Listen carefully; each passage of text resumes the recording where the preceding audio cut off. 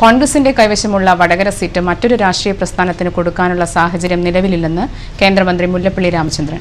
ഇരിങ്ങൽ സർഗാലയിൽ ജനസമ്പർക്ക പരിപാടിക്കെത്തിയ മുല്ലപ്പള്ളി മാധ്യമപ്രവർത്തകരുടെ ചോദ്യത്തിന് മറുപടിയിലാണ് ഇക്കാര്യം വ്യക്തമാക്കിയത്.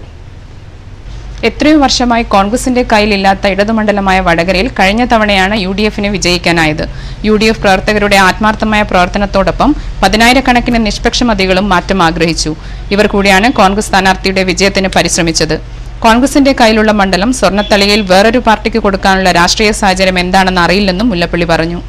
എത്രയോ വർഷക്കാലമായി കോൺഗ്രസിന്റെ കയ്യിലില്ലാത്ത ഒരു ഇടതുപക്ഷ നിയോജകമണ്ഡലമാണ് ഈ നിയോജകമണ്ഡലം ഹ്രസ്വമായ ഒരു കാലയളവിൽ കോൺഗ്രസ് ഉണ്ടായ സന്ദർഭത്തിൽ ശ്രീമാൻ കെ പി ഉണ്ണികൃഷ്ണൻ ഈ നിയോജകമണ്ഡലത്തെ പ്രതിദാനം ചെയ്തു എന്നതിൽ കവിഞ്ഞ്.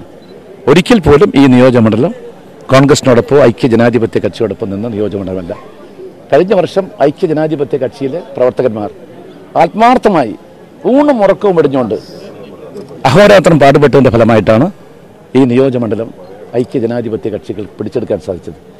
ഇതിനൊക്കെ പുറമെ പതിനായിരക്കണക്കായ നിഷ്പക്ഷമതികളായ ആളുകൾ ഇവിടെ മാറ്റമുണ്ടാകണമെന്ന് ആഗ്രഹിച്ച ആളുകൾ. അവർ കൂടി അവർ കോൺഗ്രസ്സുകാർ യു ഡി എഫുകാരൊന്നുമല്ല അവർ കൂടിയാണ് കോൺഗ്രസ് സ്ഥാനാർത്ഥി വിജയിപ്പിക്കാൻ പരിശ്രമിച്ചത്. അതുകൊണ്ട് തന്നെ കോൺഗ്രസിന്റെ കയ്യിലുള്ള ഒരു നിയോജകമണ്ഡലം സ്വർണതളിയയിൽ വേറെ ഏതെങ്കിലും ഒരു രാഷ്ട്രീയ പാർട്ടിക്ക് കൊടുക്കാനുള്ള രാഷ്ട്രീയ സാഹചര്യം എന്താണെന്ന് അറിയില്ല. അത്തരം ചർച്ച ആരെങ്കിലും നടത്തുമെന്ന് എനിക്ക് തോന്നുന്നില്ല. അങ്ങനെ ഉണ്ടാകില്ല എന്നാണ് എന്റെ വിശ്വാസം.